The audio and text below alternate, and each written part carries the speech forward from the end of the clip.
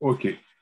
Bien, bien, écoutez, bonsoir à toutes, bonsoir à tous. Et je veux dire, je suis particulièrement euh, heureux de participer ce soir à ce débat et de l'animer. Mais d'abord, je voudrais remercier euh, le Pen Club euh, qui m'a contacté il y a quelques mois, remercier son président Antoine Spire, Jean Louel et Sylvestre Cantier qui a été, je dois dire, le, non pas l'entremetteur, mais qui m'a tendu cette merveilleuse pêche qui m'a permis ce soir de, de rassembler trois auteurs que, que j'aime beaucoup, trois grands auteurs de bande dessinée, parce que nous allons euh, traiter d'un sujet euh, euh, très, très, j'allais dire, très actuel, la bande dessinée témoin de son temps.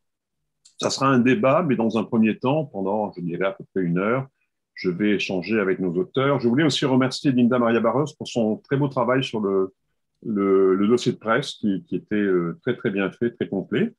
Et donc, pour revenir au sujet, la BD témoin de son temps, trois auteurs, donc euh, Jacques Ferrandez, Guy Delisle, Mathieu Sapin. Alors, euh, finalement, le sujet, c'est interroger le monde et l'histoire par, un, auteur de bande dessinée.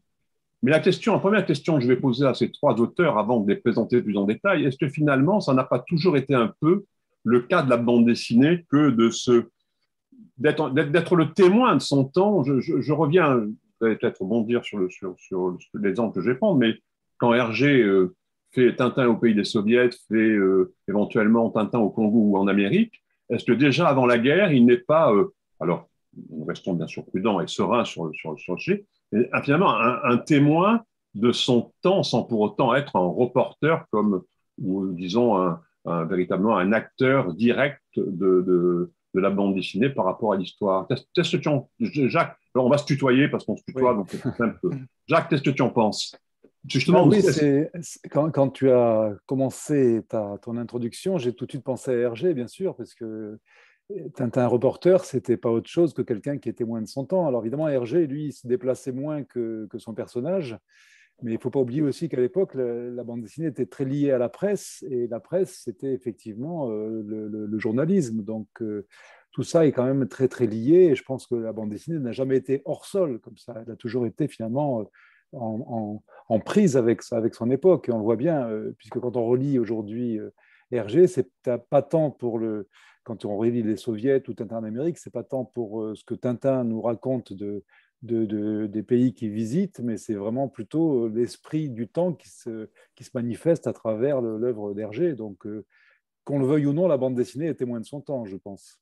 Donc, euh, Guy, ton avis, toi alors, auparavant justement à, cette, à ces débuts Parce que je, suis même, j'ai même pensé à Bécassine, je dirais que ça peut s'arrêter aussi un peu saugrenu, mais quand Bécassine est dans les tranchées, en 1915, elle est témoin de son temps à travers de ce qui se passe autour d'elle pendant la guerre de 14. Calvo, quand Calvo fait La bête est morte, il est témoin aussi d'une libération et de ce qu'a été le nazisme pendant toute la guerre.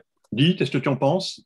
Oui, après, quand euh, bah, d'une certaine façon, euh, Hergé quand il, travaille pour le petit 20e euh, journal catholique de droite, euh, c'est pas lui qui choisit de, parler des soviets, c'est eux qui lui imposent. Donc il est au service du, directeur et il est là pour faire propagande euh, du, côté, du côté de l'Europe qui, commence la guerre. Donc voilà, il est en plein dedans. mais ce qui est intéressant, c'est que lui, il, il, commence comme ça, et Tintin est un personnage qui n'était pas voué à, à évoluer, à devenir ce qu'il est devenu. Euh, Tintin, après Hergé s'en empare. Et ce qui est intéressant de voir ben, dans l'évolution de Tintin, c'est que finalement, il, le fait aller sur la Lune après. Euh, et là, c'est de son fait. Et là, c'est vraiment un travail d'auteur. Donc, il, a commencé par une commande propagandiste pour terminer à devenir quelque chose d'anticipation, de, science-fiction, et puis de très personnel, c'est surtout ça. Fait. Donc aujourd'hui, la bande dessinée, en tout cas l'auteur, est, très très libre. Il a pu répondre à un directeur et à faire euh, ce que le directeur veut euh, qui serve comme, euh, comme, programme politique, disons. Mathieu, alors justement, toi qui es, un, auteur complet, comme bien évidemment Guy et Jacques, mais qui est plus reporter de terrain à travers tes derniers ouvrages, comment tu vois justement cette, ce rapprochement avec comme le disait Jacques, Tintin petit reporter, quoi, finalement. Est-ce que tu es le, est-ce que tu es le Tintin de, de, actuel qui, euh, se glisse dans les dans, dans l'Élysée, suit Hollande ou, ou d'autres d'autres grands noms de la politique? Comment vois-tu les choses? Comment est-ce que tu, tu fais un rapprochement? Oui, alors moi, moi en effet, c'est une figure qui avec laquelle je m'amuse, celle de Tintin. Ah je vais même jusqu'à, dans, tu, tu, citais tout à l'heure, Héros de la République, le ministère secret là, que j'ai fait avec Sfar, où, j'ai le, sur la couverture du tome 2, là, j'ai le, ah, j'ai le pull voilà, j'ai le pull de Tintin. ah oui, c'est vrai, c'est vrai. Pas, tu vois, comme quoi. Bien sûr. Euh, c'est vrai, tu as, tu as, le pull de Tintin. C'est ça. Et, mais en vrai, c'est-à-dire que là, je ne l'ai pas mis ce soir, mais j'aurais pu. j'ai vraiment ce pull. Euh, et donc, je m'amuse à, à, à, jouer avec ces codes-là. Et, euh, et, je trouve ça, je trouve que c'est un, thème particulièrement intéressant parce que, comme le disait Guy, je pense qu'Hergé ne se rendait pas compte de, ce de, l'ampleur de, ce qu'il allait lancé quand il a créé Tintin. Euh, mais euh, bah, au début, euh, oui, il était, au service de, bah, de, d'une propagande. propagande, oui. Voilà, mais, mais je, est-ce que je dis une bêtise? Il est allé en Chine ou, ou non ou Il avait rencontré. Il a connu Chang. C'est ça, il a connu Chang. Il n'est pas, pas allé en Chine. C'est ça, mais on, on, sent en tout cas qu'avec le Lotus Bleu, il commence à, à s'intéresser vraiment beaucoup plus concrètement à, au sujet qu'il traite et on, voit qu'il y a des. Enfin, moi, comme la plupart des lecteurs, je l'ai lu enfant, je ne comprenais pas grand-chose au sous-texte, au, au, contexte d'albums euh, comme euh, Tintin en Amérique ou Le Lotus Bleu, mais euh, je m'attachais à, l'action. Mais, mais en fait, il y, a, il y, a, beaucoup de choses qui sont racontées. C'est très politique, en vérité, comme. comme oui, très politique, parce que mais il y a, le sceptre autocar aussi est très politique. En fait, c'est le fascisme, un petit État face au fascisme. À un moment donné, Tintin est en, Palestine et il y a l'Irgun où, euh, qui, qui, qui l'enlève. Donc, il, parle déjà de la, j'allais dire, du problème palestinien bien, bien avant que, que, que, ce soit véritablement euh, d'actualité. Donc, Tintin, voilà, c'était un petit peu ce que je voulais avant euh, vous, présenter les uns et les autres. Euh, dire, c'est-à-dire que finalement, la BD, ben, c'est pas aujourd'hui, c'est pas même hier, c'est même avant-hier, dès le départ qu'elle est finalement le témoin de son temps. Alors, Jacques, Jacques Ferrandez, on, va revenir à, toi avec l'Algérie. Et là aussi, il se trouve que, bon, on est en pleine actualité, et pour cause, puisqu'il y a, à l'heure actuelle, entre le gouvernement français et le gouvernement algérien, des tiraillements, plus que des tiraillements, enfin, disons, des, des, problèmes majeurs, des refroidissements. Jacques, et donc, Jacques euh, Ferrandez, qui est un auteur aussi qui a touché à beaucoup de gens, euh, a euh, avant tout, bien évidemment, signé L'Éternel d'Orient, qui, de 1830 à 1962, raconte d'une façon exhaustive, précise, ce qu'a été la présence de la France en Algérie. Il faut d'abord savoir que Jacques est d'origine quénoise, hein, et que je pense que c'est aussi, Jacques, la raison pour laquelle tu t'es engagé dans cette voie euh, narrative de, de, cette fresque euh, des carnets d'Orient, suivie aujourd'hui par un nouveau album qui est euh, Suite algérienne, qui lui traite par contre de, des années de 62 à, 2019, donc après l'indépendance de l'Algérie. Alors Jacques, raconte-nous un peu comment tu t'es plongé justement, tu, es devenu le, le, le j'allais dire, pas le porte-parole, mais le, le, témoin là aussi de ce qu'a été la colonisation française et la présence de la France en Algérie. Oui, enfin, c'est une longue histoire. Moi, effectivement, je suis né euh, à Alger il y a juste 66 euh, ans. J'ai célébré mon anniversaire hier, vous voyez. Euh, je suis du 12 décembre. Et en fait, mes parents se sont fixés à Nice en 1956, c'est-à-dire quelques mois seulement après ma naissance. Et j'ai commencé à faire de, la bande dessinée, disons, avec d'abord un scénariste et puis des sujets qui n'avaient pas grand-chose à voir avec ça. Et c'est vers l'âge de 30 ans que je me suis simplement demandé d'où je venais, c'est-à-dire quelle était cette histoire. Et en creusant un petit peu, je me suis rendu compte que c'était une mine inépuisable de scénarios et surtout qu'il y avait quelque chose à comprendre aussi sur cette histoire euh, coloniale, cette, histoire, euh, cette histoire de l'Empire français, comme on disait à l'époque, euh, qui s'est manifestée justement entre, pendant tout le 19e siècle et, dont j'étais le produit d'une certaine façon. Donc cette histoire-là m'a conduit à me pencher sur, euh, sur toute cette période. D'abord, au départ, pour essayer de comprendre euh, tout simplement d'où je venais. Et puis, euh, chemin faisant, parce que là aussi, il n'y avait pas un scénario établi à l'avance, j'ai procédé comme un feuilletoniste, c'est-à-dire album après album, dans une forme de, chronologie, en me documentant d'ailleurs un petit peu au fur et à mesure hein, de cette histoire-là, c'est-à-dire sans avoir une connaissance évidemment complète avant, de, avant de démarrer le premier tome. Mais tout ça m'a aidé en fait à, poser comme ça, pierre après pierre, cette espèce d'édifice aujourd'hui qui correspond à une dizaine d'albums et qui retrace en effet toute cette période euh, avec des personnages très, euh, très divers, enfin, qui appartiennent, on peut dire, à différentes, euh, différentes communautés, qui permettent d'exprimer différents points de vue aussi sur cette histoire-là. Voilà, c'est-à-dire qu'il y, y, a une part d'objectivité parce que tu mets face à face, finalement, les parties en présence, c'est-à-dire que, et même d'ailleurs ensuite, à part, dans le nouvel album Suite algérienne, on, on, a une part, j'allais dire romanesque, mais romanesque authentique, en fait. C'est-à-dire que ce sont aussi des témoignages de gens qui auraient pu, euh, qui, auraient pu vivre ou, qui ont vécu en Algérie à ce moment-là. Oui, dès, le départ, j'ai fait attention à ça, c'est-à-dire que de par ma naissance dans, ce, dans cette communauté, même si j'aime si pas le mot euh, pied noir, enfin, euh, j'aurais pu me laisser tenter par l'idée de, défendre et illustrer cette période du point de vue justement de ces, de, cette population française d'Algérie. Mais dès le départ, je voyais évidemment, d'abord, ce n'était pas mon intention de, départ, d'autant plus que c'est une communauté, encore une fois, qui est assez peu homogène, en fait. Hein. Tout le monde, dans, dans ce million d'habitants qui a habité euh, en Algérie jusqu'à jusqu'à 62 et qui ensuite a été contraint de, euh, par l'histoire enfin, à, quitter le pays, évidemment, euh, on trouve la même diversité que dans n'importe quel n'importe quel échantillon de la, population. Euh, mais moi, ce qui m'intéressait, encore une fois, c'était pas de, de, faire un, récit partisan, mais peut-être pour essayer de comprendre moi-même cette histoire-là, de donner un peu la parole à tout le monde et d'entrer, comme je dis souvent, d'entrer dans les raisons de l'autre, c'est-à-dire à un moment donné comprendre aussi pourquoi les uns et les autres se déterminent de telle ou telle manière en fonction de, ce qui leur arrive. Et ça, j'ai continué de cette façon-là jusqu'à jusqu'à aujourd'hui, en fait. Jacques, justement, on reviendra ensuite sur justement, les sud algériennes, parce qu'on ne peut pas s'arrêter en 62 aujourd'hui. Je parlais tout à l'heure de l'actualité entre franco-algérienne, j'allais dire, qui n'est pas, qui, pas, mais là aussi c'est un autre sujet qui, dépasse peut-être le simple fait BD témoin de son temps.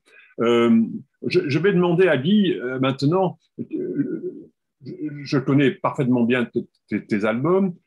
c'est aussi parce que pour des raisons professionnelles, tu as été amené, Guy, à voyager que tu t'es retrouvé dans des pays euh, où, euh, que ce soit la Corée, la, Corée du Nord, que ce soit euh, la Chine, que ce soit ensuite Israël à travers Jérusalem ou autre, avec l'opportunité finalement d'être un chroniqueur, un vrai chroniqueur, c'est-à-dire tu vivais, tu, y étais, alors pour des raisons familiales aussi, hein, parce que ta compagne fait partie d'une ONG, mais et avec ce que tu recueillais, ce que tu vivais, c'est qu'est-ce qui t'a véritablement, à un moment donné, déterminé à te lancer dans ces, dans ces euh, journaux, finalement, dans ces journaux qui sont aussi des journaux politiques, quelque part, et historiques. Ça s'est construit euh, vraiment euh, de façon empirique parce que moi, je faisais que des, histoires courtes dans un magazine qui était publié à l'association qui s'appelait Lapin. Et à côté, je gagnais ma vie, moi, en, en travaillant le dessin animé. Il se trouve que ça s'est mélangé un peu parce que en revenant d'un séjour pour le travail en Chine, euh, je me suis dit, tiens, je pourrais peut-être raconter quelques anecdotes qui sont passées là-bas. Et j'avais envie de, faire euh, euh, un récit autobiographique parce que j'essayais à l'époque euh, plein de types de narration et je voyais d'autres gens euh, à, l'association qui, euh, qui faisaient de l'autobiographique et je trouvais ça intéressant. Pour avoir lu Gottlieb aussi quand j'étais jeune et avoir lu Maus aussi quand j'étais jeune, je me disais ce serait intéressant. Donc voilà, j'ai fait une histoire courte qui s'est prolongée en une deuxième histoire courte et à un moment on s'est dit tiens on pourrait faire un livre avec ça. Donc d'emblée je me suis pas dit je vais faire un livre avec mes avec mes anecdotes en Chine parce que ça me paraissait assez léger comme sujet. Et puis euh, je voyais pas je voyais ça comme euh, voilà une récréation euh, sympathique mais sans plus. Et après bon ça a pris la forme d'un livre et, c'est et c'est suite à ça quand je suis parti pour le même travail c'est-à-dire moi je dirigeais enfin je dirigeais pas mais je travaillais dans le dessin animé dans les studios où on sous-traitait le dessin animé donc là où c'était le moins cher, Chine, Vietnam. Et après, on m'a envoyé euh, au Vietnam, où là, j'ai pris des notes de la même façon, en me disant, je vais faire un livre. Mais, euh, mais, mais, bon, il n'y a pas eu de livre, parce que c'est pas, je me suis rendu compte que c'est pas parce que je vais quelque part pendant deux mois, trois mois, que je vais revenir avec assez de, de matériel pour faire une histoire. Et euh, voilà, ça m'a servi de leçon, ce qui fait qu'après, quand on m'a envoyé en Corée du Nord, je dis, voyons voir une fois là-bas, je prendrai des notes et s'il y a quelque chose à raconter d'intéressant, euh, je ferai un livre avec si c'est possible. Donc voilà, au bout d'une demi-heure, euh, j'étais servi parce qu'on m'a donné des fleurs. Il fallait que je les dépose sur la statue de Kim Jong-il hmm. qui fait 22 mètres de bronze. Et je me suis dit, bon, déjà, ça commence pas mal. Et euh, ça a été comme ça pendant tout le séjour. Donc voilà, c'était la même technique où je prenais des notes. Sauf que là, il y avait vraiment l'idée de faire un livre derrière. Et euh, c'est pour ça qu'il a plus de continuité. Et c'est un séjour de deux mois. Donc c'est des chroniques presque au quotidien de ce qui se passait jour après jour sur euh, bah, cet endroit où voilà, c'était assez difficile d'aller à l'époque, encore aujourd'hui, où il y a beaucoup de fantasmes. Et euh, voilà, il y a eu un écho en, dehors de la, la, sphère bande dessinée classique. Donc c'est ça qui a fait que ça, ça, pour moi, ça a changé beaucoup de choses. Alors en plus, donc, là, comme tout à l'heure, je disais pour, pour Jacques, tu es, tu es finalement face à une autre actualité en Birmanie, hein, aujourd'hui, avec la condamnation de Aung San Suu Kyi à, de, deux ans, à deux ans de prison, avec, euh, au lieu de quatre ans, deux ans de prison. Donc la, junte a repris le pouvoir, et donc euh, Chronique Birman est d'autant plus d'actualité d'aujourd'hui. Euh, il y a eu aussi, bien évidemment, Chronique de Jérusalem, qui là a été euh, primé, à Angoulême. On reparlera ensuite, bien évidemment, de ce que euh, pourraient être éventuellement d'autres projets dont on avait, qu'on avait d'ailleurs évoqué il y a quelque temps tous les deux. Mathieu, Mathieu, Mathieu, toi, tu es le, encore une fois, j'avais pas vu le pull bleu, mais c'est vrai que le euh, Mathieu reporter, euh, tu t'es finalement glissé, pas glissé, tu es devenu un reporter de, un reporter, un reporter BD, enfin un reporter BD. Oui, sur un terrain qui est quand même un terrain très politique quand même. Alors à la fois politique, pas, pas au départ, parce qu'au départ tu couvres le, le, un film, enfin du moins le, le background d'un film.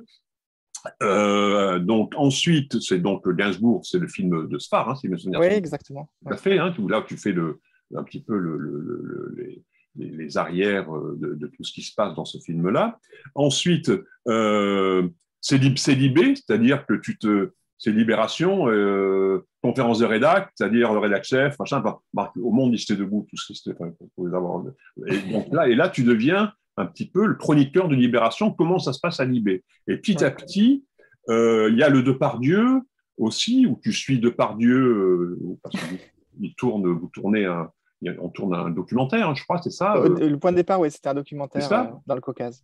Et puis après, carrément, on monte dans les instances les plus hautes de l'État. Euh, moi d'ailleurs, je vais bien te présenter, d'ailleurs, c'est pas très rigolo. Euh, campagne présidentielle, donc Hollande, ensuite euh, Macron qui te fait un appel du pied, euh, tu visites l'Élysée, tu te glisses partout, euh, si je puis dire, et en prime, tu crées une bande dessinée, alors là, de fiction, mm. où Sarkozy et Hollande sont pratiquement des super-héros, euh, avec un autre super-héros américain. Enfin, c'est un trio assez bizarre.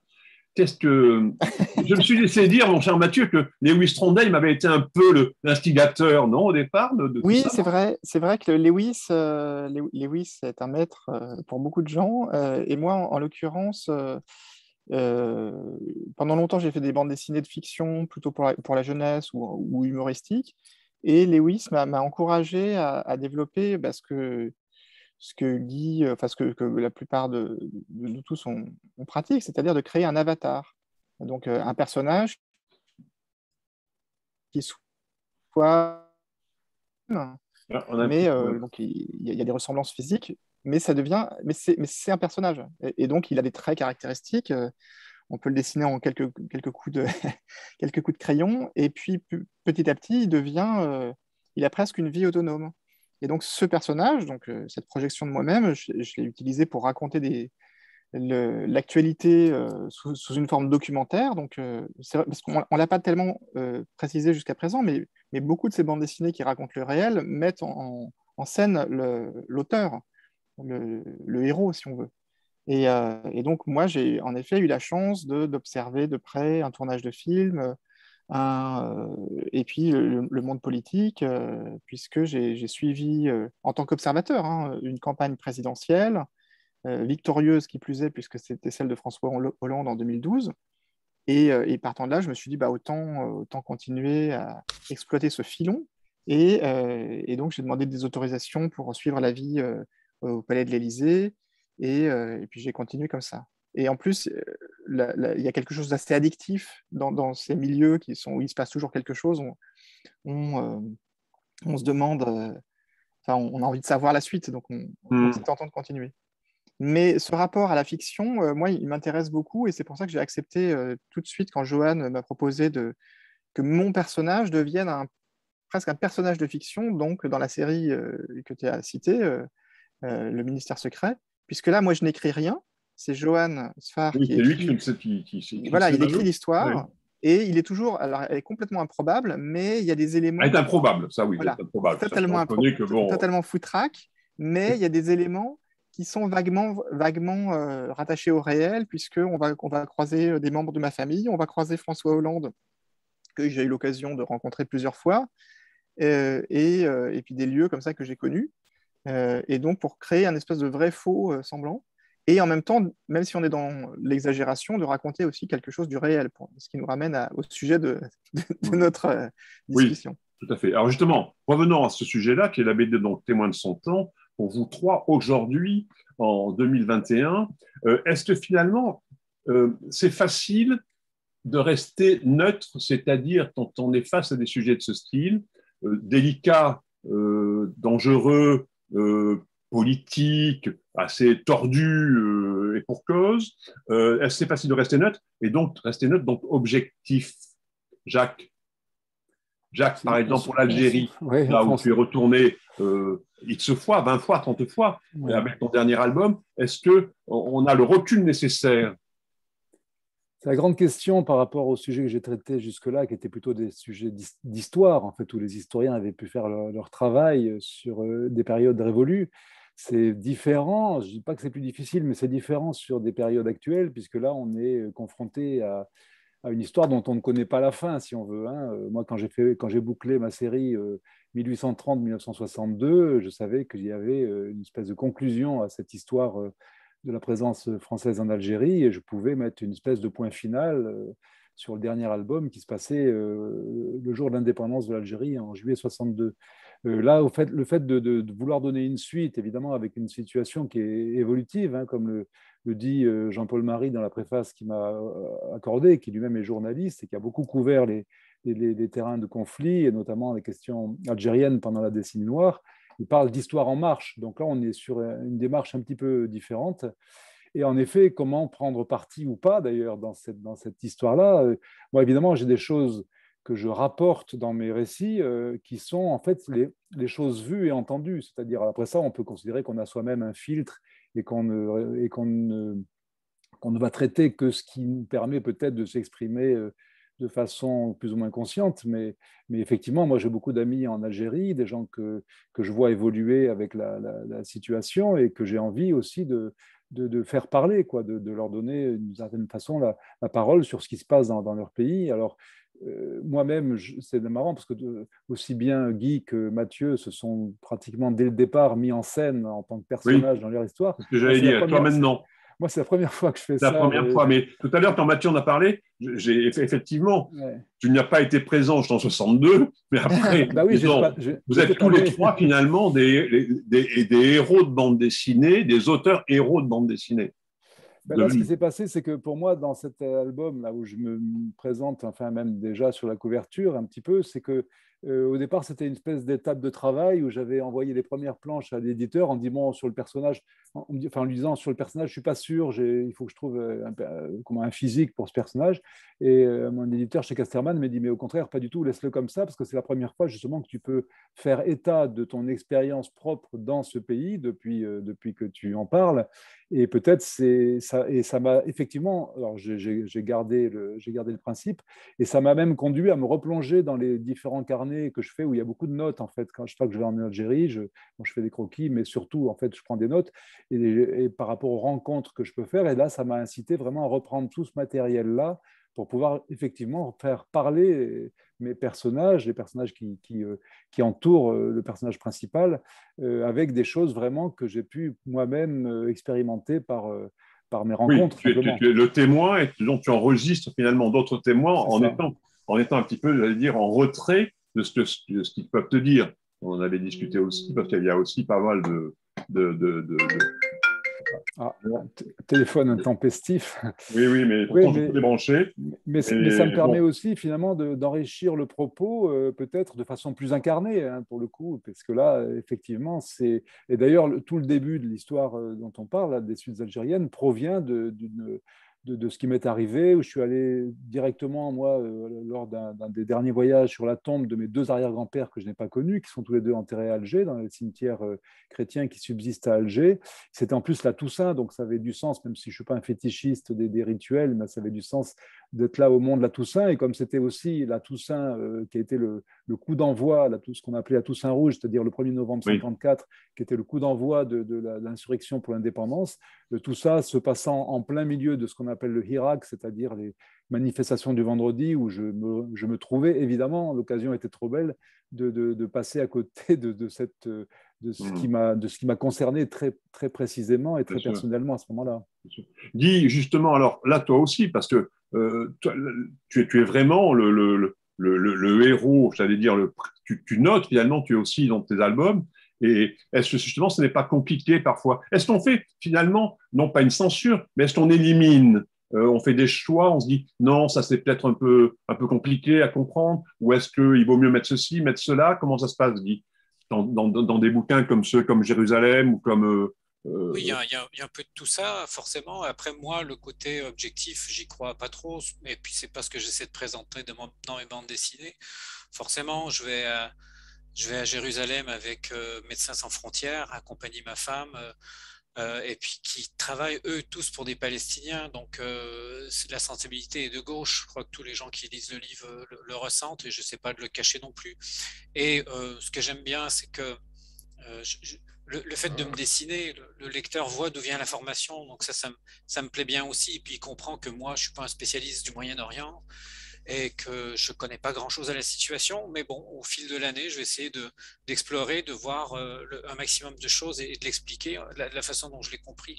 Donc une fois que ça s'est posé, euh, je me sens assez moins à l'aise pour simplement me faire reporter de ce que j'ai vu. Donc c'est plus des chroniques que du journalisme. Ça, moi, je me sens pas du tout journaliste quand je suis à Jérusalem pendant une année, et puis je fais autant de parties familiales, touristiques, euh, que de la vie quotidienne, et je mélange tout ça en fait.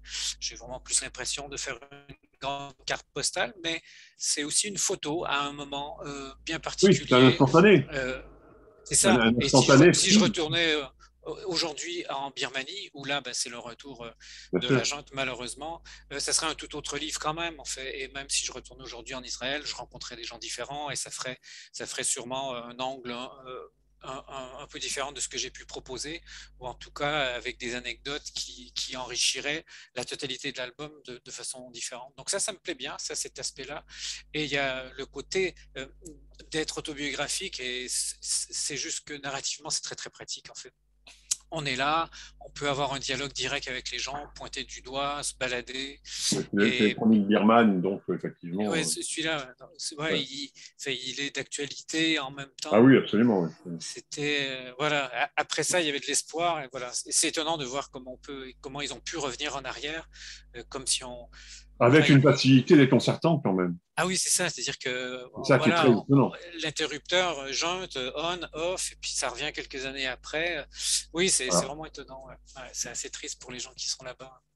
Euh, Mathieu, alors, toi, c'est justement, on peut, comment dire, avoir un certain préjugé favorable, défavorable, une sorte de, de j'allais dire presque d'affection, d'amitié, de est-ce qu'il faut on, fait le travail que tu fais auprès des, des, politiques. Je parle pas de la, partie fiction hein, avec euh, avec Johan, mais plutôt de, des, albums précédents, euh, que ce soit à l'Élysée ou pendant la campagne de, de, Hollande. Euh, est-ce que là, il faut aussi avoir faire, faire un effort de, de recul pour bien bien assimiler l'info? Pour je ne sais pas ne pas en être prisonnier. c'est un exercice. Ah, On l'a perdu. On a perdu. Mathieu euh, Oui, je pense qu'il a un problème de connexion. Ah ben, on il, va, enchaîner. revenir, j'espère. On va enchaîner, non, j'espère qu'on va enchaîner. Alors, euh, justement, euh, euh, toujours pas là? Non, il n'est pas là Il n'est pas parmi nous Non, il n'est pas non, non. Jacques, est-ce que, d'après toi, la BD, justement, telle que vous la pratiquez tous les trois, peut avoir un poids. C'est-à-dire, est-ce que, vis-à-vis d'un public, peut avoir un poids, même à la limite presque politique, euh, incitatif, peut, déranger, ou est-ce que finalement elle est, euh, elle passe plus ou moins, non pas inaperçue, c'est pas le mot, ce serait très péjoratif si ce n'est pas le cas, mais est-ce que la BD finalement est un, est un, combat, est un moyen de combat? Oui, enfin, certainement, en tout cas c'est un moyen d'expression à part entière, donc ça j'en suis convaincu de, depuis le début. Euh, il y a des exemples comme ça, alors des choses qui ont, je ne sais pas dans quelle mesure euh, un texte, un roman, une chanson, une pièce de théâtre peuvent changer le monde. En tout cas, je pense que ça peut changer la perception euh, de, par rapport à certains publics, enfin de, de certaines choses. Tout à l'heure, Guy, je crois, a évoqué Maus de Spiegelman. Je pense que c'est un très grand oui, livre, Maus, hein, donc qui a peut-être aussi permis de, dire des choses sur, sur ce sujet qui est très délicat, surtout quand on sait à quel point il est difficile de le transcrire par l'image. Bon, Spiegelman a fait ça tout à fait de façon magistrale. Euh, probablement, ce livre a eu de l'influence. Hein. En tout cas, je sais qu'il a eu de l'influence sur beaucoup de dessinateurs de bande dessinée et de gens qui pratiquent cette, ce moyen d'expression. Après, c'est une bouteille à la mer. On ne sait pas de quelle manière elle va être reçue, de quelle manière ce message va être euh, amplifié, euh, compris, mal compris. Vous voyez, moi, l'avantage dans mon travail, c'est que je suis lu aussi en Algérie, puisqu'il y a même eu des, traductions de mes carnets d'Orient, des, des, dix tomes, enfin sous forme des deux intégrales, qui ont été traduits en langue arabe. Et j'ai vu à ce moment-là, à l'occasion de mes fréquents voyages, des Algériens qui me disent avec tes albums, on apprend des choses sur l'histoire de notre pays. Parce que là aussi, alors on pouvait faire la, comparaison, la comparaison avec la Birmanie. Il y a eu une forme d'espoir dans les années 2019-2020 avec le, avec le Irak. Et puis euh, tout ça est, est retombé, c'est-à-dire euh, effectivement le, le, le on-off de la junte militaire birmane euh, s'est présenté de la même, un peu de la même manière en Algérie où tous ces espoirs ont été douchés.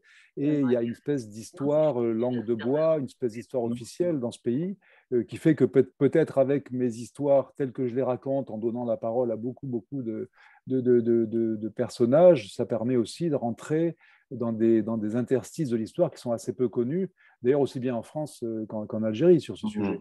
Donc si au moins il y a cette fonction, ben, qu'elle qu oui, qu'elle soit reconnue, oui peut-être. Oui, qu'il y ait une part, une part de reconnaissance. Tu, tu as cité, vous avez cité d'ailleurs euh, Maus. Alors, j'ai fait une petite liste hein, où il y a, par exemple, le, le, le printemps à Tchernobyl d'Emmanuel Lepage, il y a Les ignorantes d'Avodo, il y a le photographe d'Emmanuel euh, de, de Guibert, il y a les Palestine et Gaza 56 de Sacco, Persepolis. C'est-à-dire finalement, on s'aperçoit que euh, la, la, la, bande dessinée a depuis, encore une fois, longtemps, euh, non pas envahi, mais, mais gravi des échelons euh, multiples pour finalement traiter de sujets graves, importants, politiques et, et, et même parfois, j'allais dire, sanglants, parce que chaque fois, il y a les cahiers russes aussi d'Igor. Enfin, bon, des, sujets vraiment qui ont toujours été, qui sont, qui, sont devenus presque un genre. Est-ce que justement, Mathieu, pour toi, c'est devenu un genre, la, BD, euh, j'allais dire, euh, euh, non pas d'opinion, mais la BD témoin, la BD reportage? Un genre à part entière. La, la, question s'adresse à qui? Ah, ah euh, tu es revenu, Mathieu, je ne t'avais pas vu. Oui, oui. Mais alors, parce qu'on on s'est un peu coupé, là, je ne savais pas Mais vu. oui, je suis désolé. Oui. Ça, ça non, je, ça. je, non, simplement, on, on, était en train de dire que euh, quel poids pouvait avoir la BD de reportage en général. Euh, Est-ce que c'était finalement un combat Est-ce que c'était simplement une prise de conscience Est-ce qu'il y avait, comme le disait tout à l'instant euh, Jacques, une reconnaissance quand même de fait que l'auteur pouvait faire ressortir, montrer, alors qu'on n'en parlait pas. Mm. Euh, J'avais évoqué une liste euh, succincte, mais enfin, Persépolis, Palestine de Sacco, Gaza. Est-ce que finalement, oui, justement, le, cette BD reportage peut être une BD de combat, d'après toi? Euh, Le combat, je ne sais pas si combat, enfin, combat dans le sens. Joe Sacco, je pense qu'on peut dire ça, par exemple. Joe Sacco, il est très militant. Mais je pense que la plupart des auteurs qui ont été cités, c'est surtout, moi, je, dirais, des, témoignages. La, plupart du temps, c'est des auteurs qui, ont leur voix propre et qui racontent un témoignage de choses qu'ils ont observées, comprises, vécues, et, qui le donnent avec leur sensibilité, bah, bien sûr, d'écriture, mais aussi évidemment visuelle, puisque c'est des interprétations à chaque fois. Et je pense que c'est ça qui fait le succès de ces différents ces différents titres, c'est qu'il y a vraiment une, personnalité derrière chacun de ces livres et qui plaît à un public large, parce que c'est ça aussi qui est intéressant, c'est de constater que, que des gens qui n'étaient pas forcément des lecteurs de bande dessinée classiques, si ça veut dire quelque mmh. chose, vont aller s'intéresser à, des, à, des, des, BD. Alors moi, je ne suis pas très à l'aise avec le terme de BD reportage, parce que pour moi, reportage, ça sous-entend, comme le disait tout à l'heure en préambule, Euh, qui est un rédacteur en chef, pas qui est, un, qui est une, rédaction, alors que je dirais plus documentaire. C'est plus pour moi la, démarche est plus celle d'un documentariste, euh, donc où il y a euh, voilà une, subjectivité assumée et un, et un angle très particulier à chacun à chacun de ces auteurs. Oui, mais à partir du moment où tu donnes un angle et où tu cherches une info, tu quand même tu fais un travail de oui, oui, bien sûr. Non, mais après, on est dans une zone, c'est une forme de reportage, mais, mais ce n'est pas éditorialisé euh, en accord avec une rédaction et avec un. Et, puis, et puis la, la, la, personnalisation est complètement assumée, alors que, bon, après, il y a des contre-exemples, hein, mais un reportage, pour moi, est quand même plus dans le ton, se veut plus neutre. Alors, je, vais une question et je vais revenir parce que je l'avais posée pendant que tu n'étais pas là, mais je te la pose et ensuite je reviens à Jacques et à, et, à Guy. Est-ce que c'est devenu un genre finalement? Bah oui, bah de, fait, hein, quand, quand, tu te promènes dans une, dans une librairie, euh, aujourd'hui, il y a un rayon euh, dédié à ça. Il y a, c'est un rayon qui est de plus en plus, euh, de plus, en plus important en plus. Et donc, qu'on le veuille ou non. C'est-à-dire qu'en fait, vous avez fait des émules euh, oui, enfin, je sais pas si. sais pas, Jacques, Jacques, qu'est-ce que tu en penses, toi euh, C'est devenu un genre véritablement, le, la, BD euh, témoignage, la BD témoin de son temps, reportage BD du réel Oui. La BD du réel, c'est bien ça. oui, c'est un genre en soi. Non, mais oui, il y, y, a des genres, il y a, y a des comme, euh, comme au cinéma, il y, a, il y, a, des films de genre. Hein, euh, en, en, bande dessinée, on a eu euh, de la science-fiction, l'heroic fantasy, western, etc. pour que ça devienne un genre en soi, moi, je ne vois pas d'inconvénient. Pourquoi pas Je n'ai pas dit qu'il ça, fallait que ça ne le devienne pas. Je dis, est-ce que ça n'est pas déjà? Oui, sans doute, mais, mais c'est aussi le, témoignage du fait que la bande dessinée est très, très, très plurielle, puisqu'aujourd'hui, on voit bien qu'il y, a, une créativité qui s'exerce dans tous les domaines avec la bande dessinée, sur le plan narratif, sur le plan graphique, sur le plan des sujets. Sur le... Euh, donc, la bande dessinée est un, moyen d'expression extrêmement riche, extrêmement euh, varié, et qui, comme le disait Mathieu, qui, met en, en, situation aussi des, individualités, c'est-à-dire des auteurs, en fait. Après ça, que les auteurs. D'ailleurs, il y a des auteurs, on, parlait du, documentaire plus ou moins neutre, plus ou moins engagé. Euh, ça me fait penser, parce qu'on l'a évoqué tout à l'heure, tu parlais des ignorants, on peut considérer que c'est une mmh. forme de documentaire. Et là, sur le dernier, euh, Davodo, avec le droit du sol, a fait vraiment un documentaire très, très, engagé, très militant.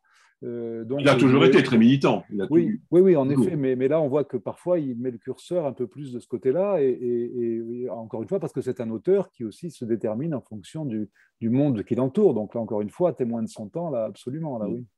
Guy, qu'est-ce que tu en penses, toi, justement, de cette euh, notion de, genre, enfin, du moins, de, spécialisation, un peu pratiquement, de, la bande dessinée euh, témoin, reportage Est-ce que c'est une, ou est-ce que c'est finalement euh, au, fil de l'eau, au fil des années, au fil du temps, qu'elle s'est plus ou moins euh, imposée parce que euh, voilà, elle était à la limite presque nécessaire et que elle s'est, elle s'est nourrie d'elle-même? moi, la façon dont j'ai vu la, bande dessinée évoluer depuis que je, j'en lis, j'ai commencé à en faire, c'est que avec, la, dernière génération d'auteurs, la bande dessinée a investi des lieux où elle n'allait pas du tout, en fait, dans le reportage, dans le documentaire, dans le carnet de voyage. Donc tout ça peut euh, se retrouver sous la même bannière, j'imagine, de, reportage ou de voyage. Moi, ça me va très bien. Quand je me fais inviter dans un festival de carnet de voyage, je me sens pas mal à ma place parce que ce serait peut-être comme ça que je définirais mes, mes livres de, de chroniques. Et euh, ce que moi j'aime dans dans la, bande dessinée, puisqu'elle apporte surtout euh, par rapport au sujet dont on parlait tout à l'heure, c'est qu'elle a un aspect pédagogique qui est assez évident et on voit aujourd'hui des bandes dessinées euh, qui parlent de matière scientifique, qui parlent de, euh, de, la physique quantique et qui font mmh. des gros scores euh, de, de, vente. En fait, moi, je trouve ça fabuleux. Quand j'étais jeune, ça n'existait pas. Et je vais de temps en temps faire des tours dans les, dans les lycées j'y étais la semaine dernière et en fait, euh, moi, les étudiants euh, ont, lu, par exemple, en fait, ça sert comme matériel pédagogique, c'est-à-dire qu'ils ont lu Chronique Birman et Chronique de Jérusalem et ça fait partie des listes euh, de livres que les professeurs, que, les que les professeurs peuvent utiliser comme, matériel pédagogique. Donc ça, c'est assez nouveau quand même que la bande dessinée soit utilisée à, à, l'école. Enfin, moi, à mon époque, un prof serait venu avec une bande dessinée, il aurait eu toute mon intention, ça c'est mmh sûr. Et maintenant, ça existe. Donc, euh, moi, quand je vois ça, je me félicite et je suis ravi que ça existe parce que ça fonctionne assez bien. En fait. Euh, comme la bande, la bande dessinée est, un, est, un, est très efficace comme moyen d'expression. C'est euh, une case, un petit texte, on peut résumer quelque chose très très rapidement. Moi, je le ressens beaucoup quand euh, euh, je suis à Jérusalem, je dois parler d'un truc, je sais qu'en une page et demie, ça devrait être bon, ça va pas être trop compliqué. Et qu'après, voilà, j'en parle avec les étudiants dans, dans, la, dans, dans, la classe, je me dis, c'est quelque chose que la nouvelle bande dessinée a pu amener, c'est-à-dire ce côté bah, de, de retourner à l'école. Ça, c'est pas mal quand même retourner à l'école. C'est-à-dire finalement, elle, sert presque de, j'allais dire, d'outil pédagogique. Ah bah, eh carrément. Hein. Moi, quand je fais des signatures, j'ai beaucoup de profs euh, d'histoire géo qui viennent me voir, qui disent j'utilise vos livres euh, en bande dessinée. Euh, bah voilà, je suis ravi et un petit, peu fier aussi parce que à mon époque, ça n'existait pas et je sais que les étudiants, moi j'ai de temps en temps des lecteurs qui ont 12 ans, en fait, qui ont lu euh, Pyongyang. Euh, donc, moi, ça m'étonne beaucoup parce qu'à 12 ans, je ne pense pas que ça aurait été mon genre de lecture. Mais euh, voilà, ça, permet une petite ouverture sur le monde. Et parce que voilà, c'est un langage qui, qui, parle aux jeunes, qui parle aussi maintenant, fait, qui parle à tout le monde, mais les jeunes peuvent se l'approprier aussi avec des livres mmh. comme, je sais pas, Chronique Birman, Chronique de, Jérusalem. Et ben ça, en fait, c'est assez nouveau quand même. Jacques, justement, euh, puisqu'on revient, on revient à l'Algérie, là, euh, euh, et pour cause, actuellement, est-ce que tu penses aussi qu'une série comme la tienne a pu être, peut être un, outil pédagogique, peut avoir, enfin, concerné non seulement, bien évidemment, les pieds noirs qui ont vécu cette période-là, mais surtout ceux qui, justement, connaissent mal ou peu cette période et découvrent, peuvent découvrir, grâce à tes albums ou à la suite maintenant, de la réalité j'allais dire, politique ou géopolitique d'un pays comme l'Algérie ou des relations franco-algériennes oui, bien sûr. Moi, je suis beaucoup sollicité aussi pour aller dans, les, dans classes, dans les collèges, dans les lycées. Euh, là, j'étais récemment euh, au, rendez-vous de l'histoire à Blois, qui est un grand salon de livres. Et là, je vois, il y, a une, là, il y a une concentration de profs d'histoire dans ce salon. Ils viennent me voir en disant qu'ils utilisent beaucoup les, les, les, albums euh, dont je suis l'auteur pour essayer de raconter cette histoire-là. Sur le programme, où il y a une page, vous voyez, dans laquelle il faut parler de la colonisation, de la décolonisation. Donc, comme comme moyen de, peut-être de faire mieux comprendre cette histoire-là, ils utilisent mes albums. Alors, je suis très fier de ça, bien sûr, parce que c'est une manière aussi de, montrer qu'on a pu euh, essayer de, justement de synthétiser une histoire qui souvent est très complexe, euh, en la, non pas en simplifiant, parce que là aussi, il ne s'agit pas de, faire des simplifications, mais de la, oui, de, la rendre accessible, en tout cas, peut-être la vulgariser au sens noble du terme. Et c'est peut-être la meilleure récompense quand on fait ce genre de, livre, de voir que ça prend aussi euh, un aspect euh, pédagogique, enfin pour, euh, pour pouvoir essayer de mieux comprendre l'histoire et les choses, et choses jusqu'à aujourd'hui. Moi, j'ai aussi beaucoup, là, je vois avec les, les suites algériennes, j'ai tout un, un renouvellement de mon public, parce qu'il faut quand même bien dire que moi, j'ai commencé avant, avant les deux autres intervenants qui sont là, dans les années 80 et avec, ces histoires-là. Et j'ai vu. Moi, je te lisais dans la suivre. Ah oui, tu, oui, oui, oui, Alors maintenant, ce qui est drôle, c'est que j'ai des, j'ai des trentenaires qui me disent Ah, mais j'ai vu ces albums-là chez mes parents. Alors c'est bien, c'est comme les vieux chanteurs, tu sais, à un moment donné. ma grand-mère aime beaucoup ce que vous faites, quoi. C'est un peu ça. Mais euh, mais il y a ce côté, euh, euh, bon, d'abord, qui, qui, est aussi, qui montre que peut-être le le, travail qui a été fait depuis maintenant une trentaine d'années ben, continue d'exister. Ça, c'est toujours aussi très satisfaisant. Et, je vois aussi dans, le public que j'ai dans mes signatures, il y a, beaucoup d'enfants d'immigrés, des enfants de harkis, des enfants de pieds noirs, qui souvent connaissent mal cette histoire et, qui, et, dont mes albums peuvent permettre parfois d'éclairer un peu la, lanterne. Est-ce que ce n'est pas aujourd'hui ce qui manque un peu, ou même beaucoup, à, j'allais dire, à, notre environnement euh, en France, parce que justement, euh, on ne sait pas vraiment de quoi on parle. Quoi. Ou est-ce que... si, tu, me branches sur les réseaux sociaux, là, on n'a pas fini, mais. Non, mais c'est vrai qu'on est aujourd'hui dans une époque où tout, tout, fonctionne quand même par simplification, alors qu'on aurait pu penser qu'avec Internet, on serait aujourd'hui euh, beaucoup plus capable d'élargir de, de, son, son, champ de vision et d'avoir euh, une pluralité de, comme ça, de, débats. J'ai l'impression aujourd'hui que le débat se restreint à des gens qui pensent la même chose et, quand on ne pense pas la même chose, on se fait invectiver, voire insulter. Euh, heureusement que dans la bande dessinée, il y a quand même le temps de la réflexion, il y a le temps aussi de la, création, qui, de la réalisation qui, qui, permet de mûrir un peu les choses. On n'est pas dans les 149 films, je ne sais pas combien. Vous voyez, on mmh. est quand même dans, dans un mode d'expression qui, euh, qui prend le temps. Hein, on sait, moi, c'est souvent ce que je dis, un album, c'est un an de ma vie à chaque fois, hein, donc, euh, ou pratiquement. Donc, euh, c'est aussi quelque chose qui permet de s'engager sur une réflexion et sur, une, euh, sur un mode de, de, narration qui, bah, qui, qui, en tout cas, qui nécessite une forme de, réflexion et, peut-être de mesure aussi dans, dans ce qu'on raconte. Quoi. Guy, on, on s'est vu récemment et, on a échangé sur éventuellement ce que tu avais envie de faire ou autre ce, n'est pas pour toi une fin en soi. Tu m'avais dit, par exemple, on ne sait jamais, si jamais je, pars en Afrique noire, peut-être que là, ça me donnera un sujet, mais il n'y a, pas d'obligation, en fait. Comme tu l'as expliqué très justement, pour ton voyage en, euh, j'allais dire en Indochine, mon Dieu, euh, au Vietnam. Euh, c'est générationnel. Là, c'est générationnel, merci. Ouais, ouais j'ai pas fait l'indo. Non, mais moi, c'est. Ben, moi, c'est vraiment au fil de ce qui se passe alentour de moi. J'ai voyagé par mon travail, après j'ai voyagé avec ma compagne.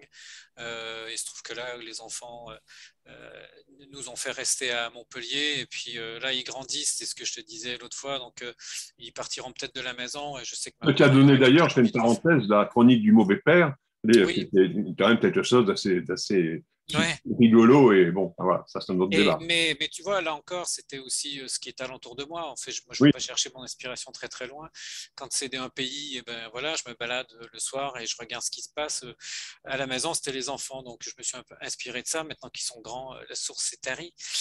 parce que ce que j'aimais bien, c'était la petite enfance. Et après les voyages, ouais, comme je te disais, si après ma compagne a envie de repartir, les enfants sont plus à la maison, eh ben, pourquoi pas, en fait, parce que moi, ça m'a bien plu de faire ces, ces livres de voyage. Quand j'en avais fait quatre, j'étais assez content que ça s'arrête parce que j'avais un peu peur aussi de, me répéter. Et c'était un peu toujours la même, le même sujet, c'est-à-dire c'était le décalage euh, culturel et puis euh, les anecdotes qui tournent autour de ça. Bon, maintenant qu'il y a quand même pas mal d'années qui sont passées avec le dernier, Jérusalem, qui était en 2011, je crois. 2011, euh, qui a été filmé en 2012.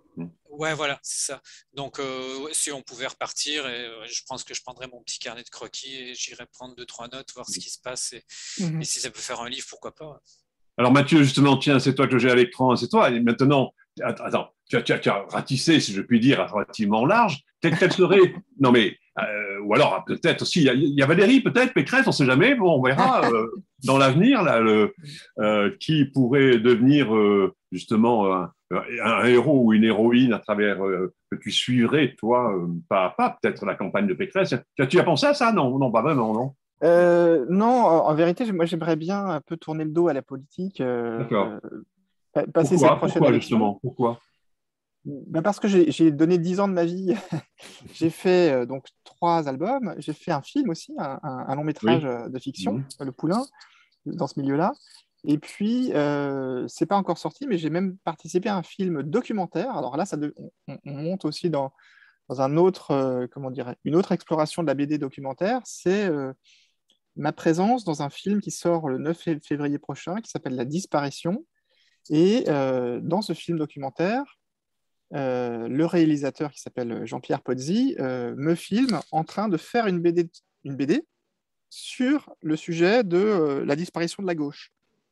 Et donc, ah je vais, je vais, on a tourné il y a un an et donc on pensait pas être aussi prémonitoire que ce qui est en train de se passer. Ça, oui.